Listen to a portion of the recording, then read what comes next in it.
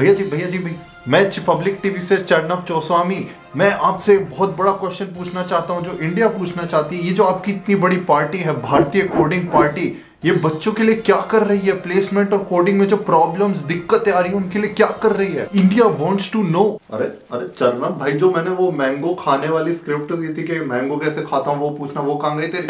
आम आम आम खाते देखो यार भाइयों और बहनों ये कोडिंग प्लेसमेंट में गिनी चुनी चार पाँच दिक्कतें जो मेरे को दिखाई देती हैं। एक तो सबसे पहली, एक तो ये जो सीटीसी को बढ़ाते जा जाके ये बच्चों को बेवकूफ़ बनाने की पागल बनाने की कोशिश कर रहे हैं सब मिलके, उसको ठीक करना बहुत ज़रूरी है। दूसरा, ये जो स्किल चेक करने के नाम पे वही पुराने घिसे पिटे डीएस एल्गो के क्वेश्चन ला ला के परोसे जा रहे हैं तुम्हारे सामने। और तीसरा बिना समय के, बिना काम देखे कुछ, बस ओवर टाइम ओवर टाइम कराए जा रहे हैं। रात रात भर हम कोडिंग करे जा रहे हैं। हम क्या तुम करे जा रहे हो? हमने तो पार्टी खोल ली है। तो ये कुछ दिक्कतें और भी बड़ी सारी दिक्कतें बट इन सबका सोल्यूशन एक ही दे सकता है। एक ही है वो, एक ही है। क्या क्या सबका मालिक एक? क्या, कौन? भगवान? नहीं? अरे वो नहीं उन पे हर प्रॉब्लम के लिए उनके पास नहीं जाते। अभी एक यूट्यूबर बड़ा सा यूट्यूबर एक साल से लगा हुआ है, जिसने तुम्हें याद होगा कंपनी रिव्यू की शुरुआत करी थी, जिसने तहलका मचाया था, उसी के पास जाना पड़ेगा। तुम्हें। अभी भी नहीं समझे क्या? अरे गेट सेज भाई तुम्हारा। अरे अच्छा वो तुम बड़े यूट्यूबर की बात कर रहे हो क्या? गेट सेज नाम का। चलो सारे उसी के पास चलते हैं। चलो, उसके बाद जाओ, वो सब सॉल्व कर देगा। आज ही करेगा, इसी वीडियो में करेगा कि क्या सोल्यूशन है इन सब का। मैं चलता हूँ, मेरे को और जगह भी वोट मांगने जाना है। तो बोलते जाओ, भारतीय कोडिंग पार्टी जो अपनी सीपी है कोडिंग पार्टी की जय। तो क्या हाल है दोस्तों? तुम्हें टॉपिक पता चल गया वीडियो का। बिना किसी देरी के शुरू करते हैं इस वीडियो को। आज की वीडियो में मैं छह टॉपिक्स के बारे में बात करने वाला हूँ, जिसकी प्रॉब्लम्स या जिस वजह से प्रॉब्लम्स आ रही है नए कोडर्स को, नए इंजीनियर्स को जॉब लेने में। एंड उस कोडिंग में भी पूरा एक तरह से सिनेरियो में दिक्कत चल रही है। कंपनी की तरफ़ से हो सकती है कॉलेज की तरफ़ से तुम्हारी तरफ़ से, दोस्तों की तरफ़ से हो सकती है। उन सब के बारे में बात करेंगे। छह ऐसे टॉपिक्स हैं और एक एक्स्ट्रा टॉपिक है जिसमें शायद मैं भी थोड़ी मेरी भी गलती है मतलब यूट्यूबर्स की मतलब बेसिकली तो ज़ोर ज़ोर से बोल के लोगों को स्कीमें बता दे। उसके बारे में बात करेंगे तो शुरू करते हैं इस वीडियो को सबसे पहले पॉइंट है तो यार जो सबसे बड़ा इशू है वो है इन्फ्लेटेड सीटीसी जो सीटीसी क्या होता है अगर तुम्हें नहीं पता मैंने काफ़ी सारी वीडियो में समझाया। बेसिकली जो तुम्हें सैलरी बोलते हैं कि हम तुम्हें बारह लाख रुपए चौदह लाख बीस लाख पैंतीस लाख पैंतालीस लाख एक करोड़ की सैलरी दो करोड़ की सैलरी अभी वो ऊबर वाला एक बच्चे का आया था दो करोड़ पंद्रह लाख की सैलरी तो यार ऐसी सैलरी सुन के एक तो पेरेंट्स का प्रेशर बढ़ता जाता है कि तुम्हारी सैलरी तो भाई घर में पचास हज़ार आ रहे हैं और ये तो दो दो करोड़ की बात चल रही है। करी तो कोडिंग ही है दोनों ने, तुम्हें कौन सा लैपटॉप नहीं दिया हमने? दूसरा फिर एक तुम्हारे अंदर भी वही आता है यार, किसी की तो सैलरी अच्छी है यार, हमारे तो बैंक में या हर महीने कुछ ही पैसे आते हैं। जबकि मान लो तुम्हारे दोस्त तो तुम्हारी मंथली सैलरी सेम हो बट उसकी सी सीटीसी पता चला पैंतीस लाख लिखी हुई है और तुम्हारी बारह लिखी हुई है। आज दोनों के सेम ही पैसे रहे हर महीने। तो ये ये एक बहुत बड़ी प्रॉब्लम है जो अभी इंडियन सिनेरियो में बहुत ही ज़्यादा चल रही है। कि इसकी सबसे मेन सोर्स क्या है? एक तो जो बच्चे अपनी बढ़ा चढ़ा के सीटीसी बोलते जाते हैं तो वो मतलब अब किसी ऑफ़ कैंपस लगी है थर्ड ईयर कॉलेज में। तो वो ही तो अपने कॉलेज को सिटी से बताएगा कॉलेज को तो कोई आइडिया नहीं है। अब वो तो सब कुछ चीज़ें डाल के, वो इंश्योरेंस के पैसे हो, फालतू फालतू पैसे हों अलग अलग चीज़ों के टैक्स का है और अलग अलग स्टॉक्स हैं अलग अलग चीज़ें, उसको मिला के ही बताएगा जिससे उसकी वैल्यू बढ़े। बट असली में बेस पे भी अलग है और मंथली पे भी अलग ही है जो उसकी आ रही है। सेकेंड प्रॉब्लम होती है जो कॉलेज करते हैं, ऐसा कि कॉलेज को पता होता है कि ये सीटीसी है, ये पैसा नहीं मिलने वाला। बट उनका अपना एडवर्टाइजमेंट है अपनी वैल्यू बाकी कॉलेजेस के सामने बढ़ाने के लिए।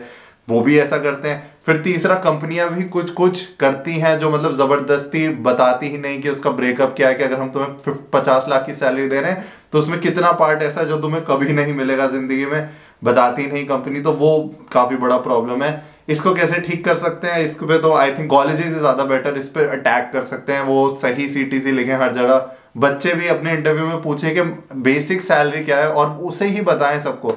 अब अगर गलत गलत चीज़ें लोग बताते जाएँगे तो ऑब्वियसली इन्फ्लेटेड सीटीसी का प्रॉब्लम तो आएगा ही। सेकंड पॉइंट पे चलते हैं, हमारे जो है डीएस एल्गो से रिलेटेड तो यार स्किल के चक्कर पे स्किल चेक करने के चक्कर में ये वही पुराने घिसे पिटे डीएस एल्गो के क्वेश्चन रटे, रटाए क्वेश्चन जो आई थिंक 300 500 क्वेश्चन कर लो और काफ़ी सारी कंपनीज़ निकल जाती है वाला जो सिनेरियो है, वो अभी तक चल रहा है। जब मैं था, तब भी चल रहा था और अभी भी चल रहा है। कोई चेंज नहीं आया, इसमें और और खराब ही होता जा रहा है। मतलब जो बड़ी बड़ी कंपनीज़ है जिनमें हम सोचते थे, यार ये तो बाहर की कंपनीज़ है, इनके इंटरव्यू प्रोसेस अलग होते होंगे, अलग क्वेश्चन पूछते होंगे, उसमें भी वो मैनेजर्स तो इंडियन जाके ही बैठ रहे हैं एच भी इंडियन ही बैठ रहे हैं तो वो भी सब सिनेरियो सेम ही होता जा रहा है और खराब ही होता जा रहा है। अब इसमें कोई कुछ कर तो सकता नहीं है ऑब्वियसली आसान भी बनाता है कभी कभी अब यार इसमें लोग कहेंगे कि यार वो डीएसएल को यूज़ होती है, कहीं ना कहीं यूज़ होती है। भैया, ये तो यूज़ होती है, भैया, ये तो यहाँ पे यूज़ होती है। आप क्या, आप कुछ भी बोल रहे हो, आपको कुछ नहीं पता।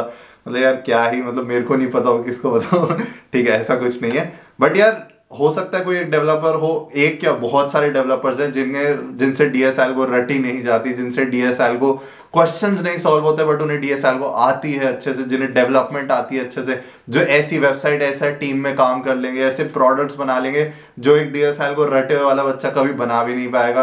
तो उस चीज़ में बहुत मतलब मुझे लगता है कि डेवलपर्स के साथ बहुत गलत होता है। तो यार डीएसएल को का है थोड़ा सा सीन अब इसमें कुछ कर तो नहीं सकते बट इसमें यही कर सकते हैं कि जब तुम जिस कंपनी में जाओगे, कोशिश करो कि वहाँ पे डीएसएल की जगह कुछ और तरीके से टेस्ट करने के।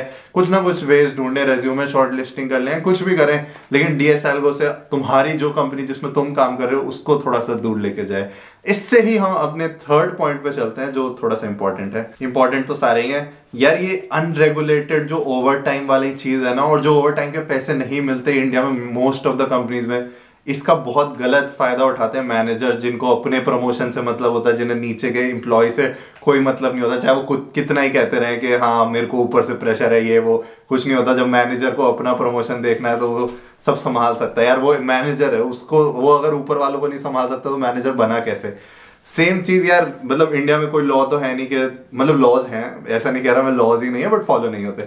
तो ऐसा तो कुछ है नहीं कि आठ घंटे ही काम करना है, उससे ज़्यादा करोगे तो तुम्हें पैसे मिलेंगे, या फिर यही तुम्हारा टाइम होगा कि नाइन टू फाइव ही होगा। अगर रात में कराएँगे तो उसका तुम्हें अलग से पैसे देंगे या पहले से बताना पड़ेगा। इंडिया में सब अपना मस्त चल रहा है मैनेजर कभी भी फ़ोन कर देता है, रात में भी फ़ोन कर देता है। वीकेंड पे भी तुम्हें फ़ोन आ जाएगा कि आज काम कर लो, कभी और छुट्टी दे दूँगा। बहुत दोस्तों का सुना है मैंने, बहुत सारे तो ये होता है इंडिया में बहुत ज़्यादा।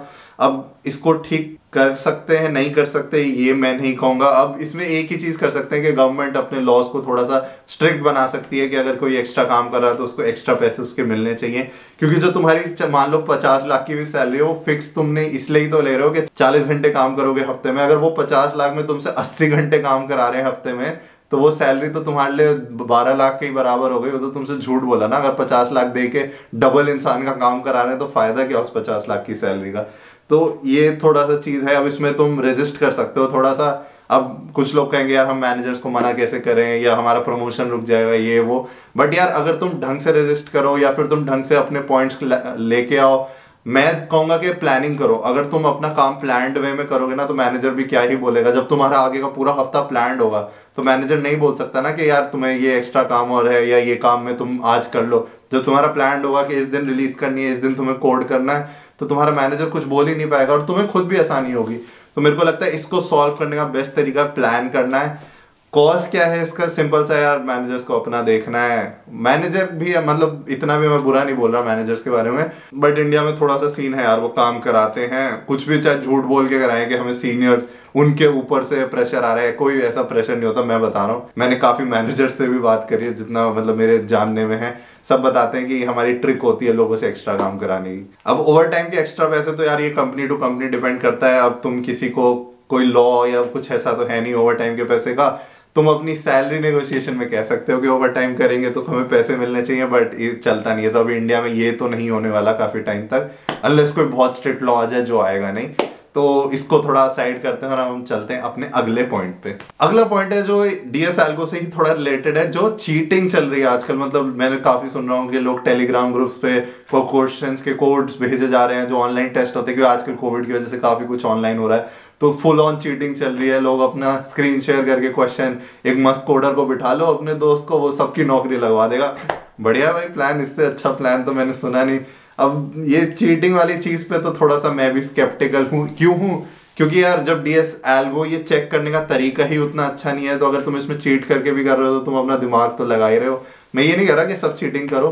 मेरा मुँह तो निकल गई क्या बताऊँ भैया? या कोई भी चीटिंग करो मत करो मेरे मेरी तरफ़ से तो यही कहना है। बट अगर वो कंपनी उतना स्ट्रिक्ट नहीं है या फिर वो कंपनी तुम्हें ऑप्शन दे रही है या चांस दे रही है या थोड़ा सा भी फाइव परसेंट एरर और मार्जिन ऑफ़ एरर दे रही है कि तुम चीटिंग कर पा रहे हो।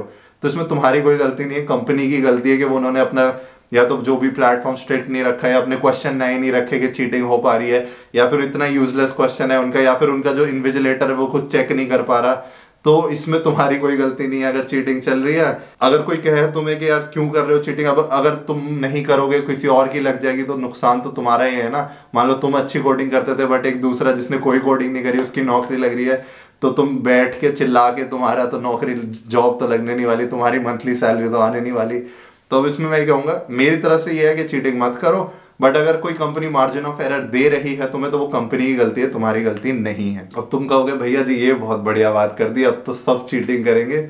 मेरे को पता है कंपनीज़ अब मार्जिन ऑफ़ एरर अपना कम करती जा रही है तो तुम चीटिंग कर भी नहीं पाओगे।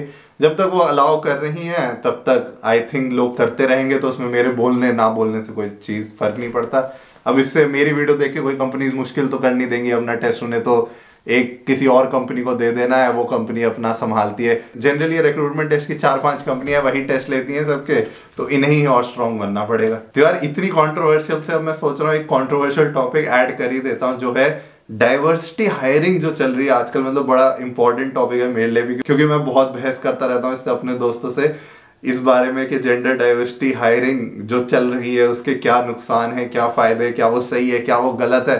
तो इसका एक सिंपल सा जो आंसर जो सबके दिमाग में सेट रहना चाहिए, जो मैं मानता हूँ कि होना चाहिए, कि अगर कोई कंपनी बिना बताए जेंडर स्पेसिफिक हायरिंग कर रही है या उन्हें एक्स्ट्रा बेनिफिट्स दे रही है, चाहे कट ऑफ़ में हो गया, चाहे इंटरव्यू में आसान क्वेश्चन हो गया तो वो तो बिल्कुल गलत है। मतलब उसमें तो कोई क्वेश्चन ही नहीं है। उसको तुम चिल्ला चिल्ला के बोलो। बोलो भैया जी ने बोला है कि हाँ तुम गलत हो। वो तुम बोल सकते हो। अगर कोई कंपनी बिना बताए जेंडर स्पेसिफिक हायरिंग कर रही है तो वो बिल्कुल गलत है। बहुत कंपनीज़ करती है। मैंने अडोबी सिटी बहुत सारी कंपनीज़ को करते सुना और अब और बढ़ती जा रही है। कभी बार चेंज भी हो जाता है कि कभी कभी होता है कि एक साल कंपनी नहीं करती जेंडर स्पेसिफिक हायरिंग तो तब सही हो जाता है। तो ये सब चीज़ें सुनने को मिलती है, मैंने देखी भी है। मतलब मेरे साथ भी हुआ है कि मैं कट ऑफ़ मेरी सी की क्लियर नहीं होती, जबकि मेरे से कम सी वाले की कट ऑफ़ क्लियर हो जाती है। तो ये थोड़ा सा सीन है और जिसमें बताया नहीं होता कि ये जेंडर स्पेसिफिक हायरिंग है। तो वो बिल्कुल गलत है, उसमें मैं कोई सपोर्ट नहीं करूँगा किसी भी जेंडर का कि अगर तुम बिना बताए कुछ भी कर रहे हो क्यों वो फिर एक तरह से डिस्क्रिमिनेशन ही हो गया ना, अगर तुम्हें नहीं पता है कि क्या हो रहा है और फिर भी तुम्हें डिस्क्रिमिनेट कर रहे हैं बेसिस ऑफ़ जेंडर तो वो गलत होगा। बट अगर जेंडर स्पेसिफिक हायरिंग बोल रखी है तो आई थिंक कंपनी का अपना पॉलिसी है कि किसको हायर करना चाहती है, उसमें तुम कुछ कर नहीं सकते। ज़्यादा से ज़्यादा तुम ये कर सकते हो कि तुम उस कंपनी में नहीं जाओगे बट अगर सैलरी अच्छी दे रही है तो तुम फिर भी चले जाओगे। तो इसमें सोचने वाली ज़्यादा बात है नहीं। अब इसमें तुम दुखी होगे तो उसका कोई फ़ायदा नहीं है, क्योंकि यार कभी ना कभी किसी ना किसी को एक्स्ट्रा बेनिफिट हमेशा मिलेगा, चाहे वो किसी रिजर्वेशन का हो, चाहे किसी जेंडर का हो, चाहे पैसे का हो। मान लो उसके घर पे बहुत सारा पैसा है, क्या उसका भाई बहन उस कंपनी में काम करती है तो उसको फ़ायदा मिल सकता है ना? अब तुम उस पर रोने तो बैठेंगे नहीं। तुम्हें तो अपनी मेहनत करनी है, अपनी कोडिंग बढ़िया करनी है और अपनी जॉब लेनी है। तो इस पर ज़्यादा सोचा मत करो। कभी प्रॉब्लम आती हो, कभी बुरा लगता हो, मेरे से बात कर लिया करो, मैं तुम्हें इसमें मोटिवेट कर दूँगा। अच्छा कि कैसे नहीं सोचना है इसके बारे में डाइवर्सिटी हायरिंग के बारे में? तो मेरा यही इस पे पॉइंट है, और इसके बाद चलते हैं हम अपने एक्स्ट्रा बोनस पॉइंट के ऊपर, जो मैं कह रहा था ना कि ये मेरे से रिलेटेड है, इसमें मेरी ही गलती है। मेरी गलती कैसे? इसमें है गलती सारे यूट्यूबर्स की जो अभी ज्ञानबाजी कर रहे हैं, मेरी तरह। और भी मेरे दोस्तों की तरह तो मैं अपने दोस्तों का तो बोल ही सकता हूँ कि वो वो दोस्त है तो वो बुरा नहीं मानेंगे। हो सकता है बाकी लोग बुरा मान जाए के के करके और वो फिर पोस्ट वोस्ट डाल देते हैं। तो उनके बारे में हम बात नहीं करेंगे, बट काफ़ी हद तक के हम इंफॉर्मेशन जो देते हैं वो बहुत स्पेसिफिक होती है। एक तरह के बच्चे के लिए होती है, जो कुछ नया सीखना चाहता है जो कोडिंग में स्पेसिफिकली इंटरेस्टेड है अपने दिल से। हम जनरली उसको एक पर्सपेक्टिव में लेके सोचते हैं या फिर एक ऐसे पर्सपेक्टिव में लेके सोचते हैं जो बहुत मोटिवेटेड है बंदा। कोडिंग करने के लिए और उसके हिसाब से ज्ञानबाजी करते हैं। सब, मैं नहीं, सब। उस चक्कर में क्या होता है, हर बंदे की अपनी यूनिक लाइफ होती है, अपना यूनिक जर्नी होती है उसकी वो जर्नी थोड़ी सी खराब हो जाती है। इसलिए मैं कोशिश करता हूँ कि यार एग्जैक्ट पाथ ना बताऊँ या एग्जैक्ट चीज़ ना बताऊँ कि आज ये क्वेश्चन कर लो, कल ये क्वेश्चन कर लेना, परसों ये क्वेश्चन कर लेना। इससे क्या होता है ना, तुम्हारी यूनिकनेस खत्म हो जाती है। जो तुम इंडिपेंडेंटली अगर करो या खुद से ट्राई मार मार के करो ना, जो तुम एक बंदा निकल के आएगा, बंदी निकल के आएगा, वो अलग लेवल होगा। रादर किसी ने एक पाथ दे दिया, किसी ने 500 क्वेश्चन दे दिया, तुमने दो साल अपने उन 500 क्वेश्चन या एक साल लगा दिया तो यार तुम सोच रहे हो ना, तुम्हारा टाइम बहुत फिक्स होगा और हज़ारों लोग सेम पाथ पे चल रहे होंगे। तो कोई क्यूरियोसिटी और जो नई वाली इंडिपेंडेंट वाली, जो नई वाली चीज़ें है ना, वो निकल के नहीं आ पाएँगी तुम्हारे अंदर से और तुम एक ही पाथ में घुस जाओगे। तो यार यूट्यूबर्स से ये थोड़ी सी प्रॉब्लम हो रही है कि वो ज्ञान बहुत स्पेसिफिक हो जाता है और बहुत लोगों के पास हो जाता है तो बहुत ही ज़्यादा कॉमन हो जाता है तो उससे यूनिकनेस चली जाती है और उससे कोडर्स जो बाहर निकल के आते हैं, वो वो ज़्यादा अच्छे नहीं निकल के आ पाते। अब इसका एक और ये भी है कि उससे तुम्हें ज्ञान भी मिलता है, उससे तुम्हें सोचने की पावर भी बढ़ती है, तुम्हें, उससे तुम्हें पता चलता है क्या पढ़ना है, क्या करना चाहिए लाइफ में। तब इसके दोनों प्रोज एंड कॉन्स हैं। बट मैं मानता हूँ कि अब ज़्यादा यूट्यूबर्स होते जाते हैं तो क्वालिटी भी खराब होती जाती है। मैं नहीं कह रहा मेरी क्वालिटी अच्छी क्यों, मैं खुद अपने आप को जज नहीं कर सकता।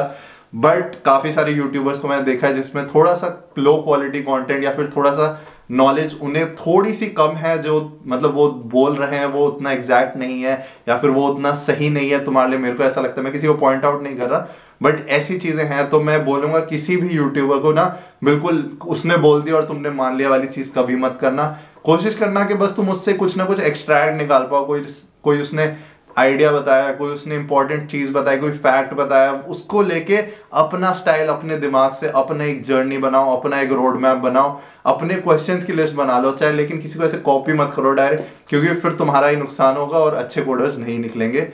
तो ये एक फाइनल पॉइंट था मेरे कोडिंग और प्लेसमेंट वाला सिनेरियो इंडिया में कैसे खराब है। अब हमारी ज़िम्मेदारी उसको ठीक करना, हम इंडियंस को ही ठीक करना है, उसे कोई और बाहर से आके तो करेगा नहीं। तो तुम्हारे ऊपर है ये, तुम पे मैंने ज़िम्मेदारी छोड़ दी है। अब वो गाना बजना चाहिए ना अब तुम्हारे हवाले वतन साथियों तो वही गाना बजा लो अपने दिमाग में और शुरू हो जाओ कोडिंग करना, मस्त वाली। बाकी बहुत सारी वीडियोस तुम देख सकते हो, मैंने काफ़ी कुछ समझाया how to start coding how to start development development versus coding CP versus CP वाले टॉपिक को तो आज हमने छुआ ही नहीं है कंप्यूटर प्रोग्रामिंग में क्या क्या चीज़ें है क्या क्या प्रॉब्लम्स है क्या क्या चीज़ लोगों को बेवकूफ़ बनाया जा रहा है क्या क्या ऑनलाइन कोर्सेज में बेवकूफ़ बनाया जा रहा है। उस पर मैं सोच रहा हूँ एक और वीडियो बनाऊँ तो नीचे कमेंट करके ज़रूर बताना तो मैं उस पर ज़रूर बना दूँगा एक वीडियो। और जाने से पहले वीडियो कैसी लगी बता देना लाइक कर देना इस वीडियो को, मैं आ गया हूँ इस वीडियो में, भैया जी आ गए हैं पार्टी लेके अपनी शेयर कर देना, अगर तुम्हें मज़ा आया इस वीडियो को देख के। और सब्सक्राइब तो कर ही रखा है तुमने, मेरे को पता है, नहीं करा है तो रेड डलने वाली है तुम्हारे घर पे ईडी की। तो मिलते हैं अगली वीडियो में.